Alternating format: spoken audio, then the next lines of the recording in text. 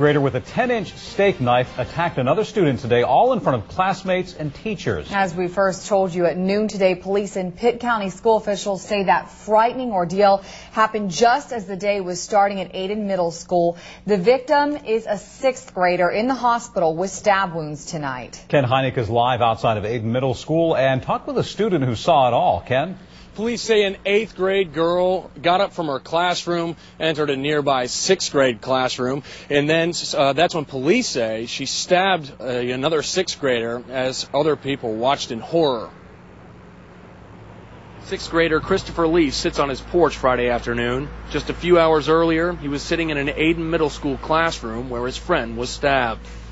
We heard a scream that was screaming real loud, like an ow, Police say the 15 year old victim was stabbed multiple times with a 10 inch steak knife just before 8 a.m. this morning. I'm scared like terribly, and I was hoping if there was something I could do. He's pretty upset as it is, and I'm pretty upset about it myself. And it's those expected feelings from students that have school officials keeping a crisis team available.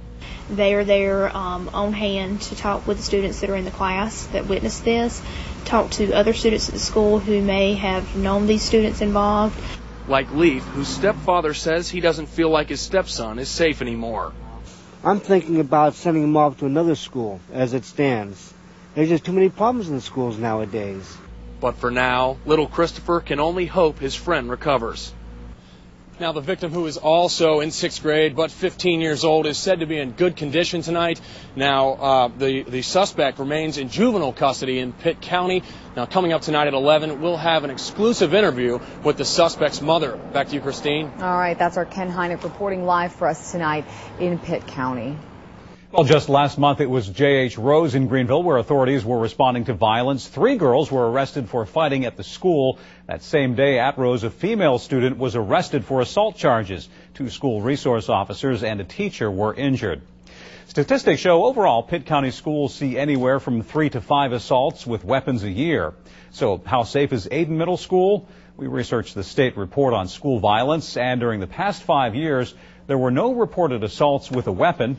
But we did find out that last year, Ayden Middle School had the second highest number of students found in possession of a weapon in Pitt County. That number was 13.